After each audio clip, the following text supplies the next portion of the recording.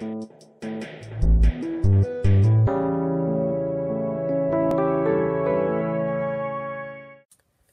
evening.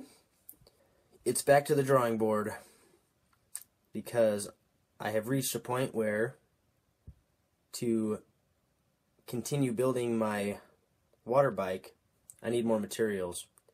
And also, also I have to figure out the next part because I don't know how to do it yet.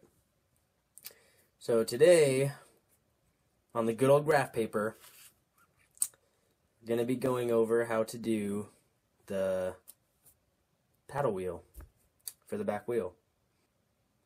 I've thought of two different options that I think will be pretty viable.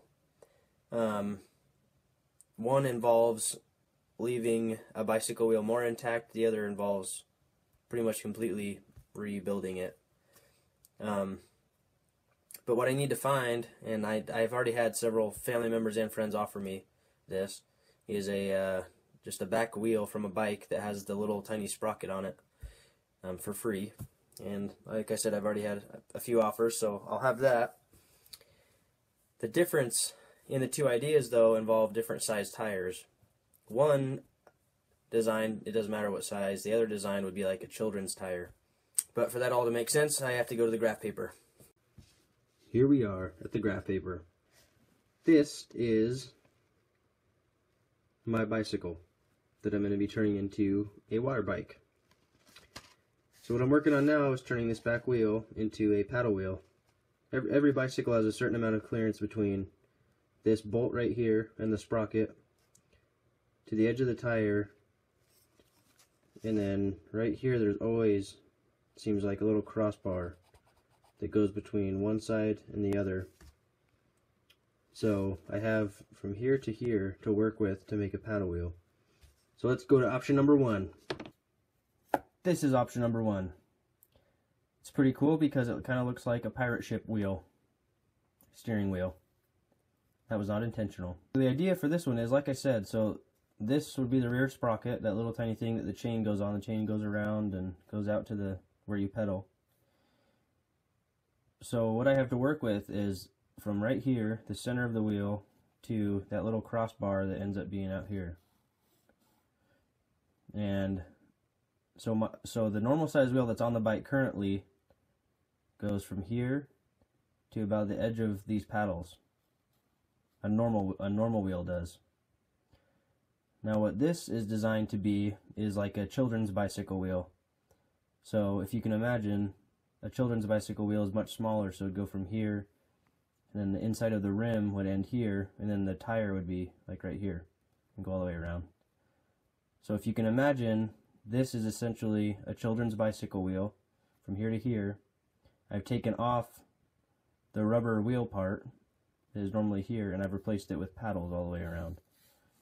And the idea behind this one is that the difference in size between a children's bicycle wheel from here to here an adult bicycle wheel from here to here is that I use that difference and I make it into paddles.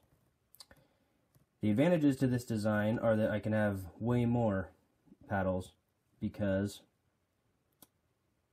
um, the circumference of the circle is bigger, so I have more area to work with.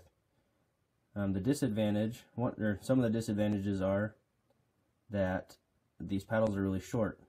And the reason that that is important is because for this one to be really efficient, I need the water level to be like right here. So that each time the paddles are going down they're only just barely dipping in the water. And but since I can't test my design it could be that my pontoons fill full of water and I sink deeper and then the water line is like all the way up here. That would make it really inefficient it would have the most efficient would be right here. And I just have no idea where how deep I'm going to sit in the water. So it's hard to tell how efficient this design would be. Um, this also, another advantage to this is that when I make my paddles, I can make them all bigger and so I can just screw them in like this into the, the rim of the bike.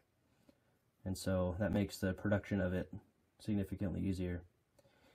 And if you remember what I'm making these paddles out of is recycled milk jugs. I'm going to melt them down and make forms. And I'm going to essentially pour the melted plastic into those forms and let it harden. And they'll be in, the, in these shapes, in paddle shapes. So that's the that's the first design. That, like I said, that involves a children's bicycle wheel. I just take off the tire and make these really short paddles. And now let's compare this one with design number two. Alright, design number two is different in many ways. So one of the ways that this is different is that, as you can see, I've taken off every bit of the wheel except for the sprocket and the bolt that attaches it to the bike. Um, so this one, it doesn't matter if I use an adult bicycle wheel or a or children's bicycle wheel because all I need is the center part and those are pretty much the same on an adult versus a children's. So I strip everything off. I keep just the center bit of the hardware, just just the sprocket, the bolt, and everything that goes along with that. And I make my paddles attach directly to that. And so they, it, and if I use this design, my paddles are able to be significantly longer, almost three times the, the length. Which means that this doesn't, this design, it doesn't really matter how far the bike sits in the water. I mean, well, it still does. I wouldn't obviously want to be all the way up here, but the water could be right here, and this would work. The water could be right here, and this would work. Um, so that gives me a lot more play in how far I sit in the water for this one to, to be efficient. The cons are that it's hard to tell because of how big this looks, but this is actually really small. So the diameter of this circle is only like um, three and a half inches wide. That doesn't give me much room to attach the paddles to the sprocket and everything. So I, I don't know how I would do it. I don't know if I'd have to make one giant form in the shape of this whole thing and form it directly to the sprocket itself. I, I don't know. I, I'll have to climb that mountain when I get there, but um, pretty much the only advantage to this one is is that it doesn't matter how far my bike sits in the water for it to work. So there are probably other designs I could have come up with, but I'm pretty sure I'm going to go with one of those two. And I don't know how exactly I'm going to shape the paddles yet because I need to do some research on uh, the most efficient shape of, of paddles for a paddle wheel. So I'll look into that. We still don't have internet. It's been gone for almost a solid week. My wife called today and they said it's out in the area for our provider. So we're just waiting on that to come back. And so I'm to go, I'll, I'll get a tire tomorrow, or a back wheel, so that I can, um, you know, start cannibalizing it if I need to. And the other things I need to get, though, are I need to get a toaster oven and an old blender. Um, hopefully for free from people. Doesn't matter what shape they're in because I'm going to be using them to shred milk jugs and melt milk jugs. So they could be the nastiest appliances on earth and they would serve me well. But I need to find those so that I can um, start experimenting with the, the melted milk jugs. In fact, the best case scenario would be for me tomorrow to get a children's bicycle wheel and an adult's bicycle wheel so that I can see exactly how much difference there is in the two and and how much you know which design would work better. This part it's getting this part is getting exciting. It's scaring me because i have no idea what i'm doing. I've never like this will be totally experimenting for me. I've never i've never tried melting milk jugs down before. I've never tried forming them into anything. I've never i've just never done any of this.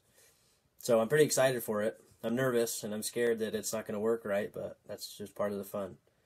But anyway tune back in tomorrow for bicycle wheel cannibalization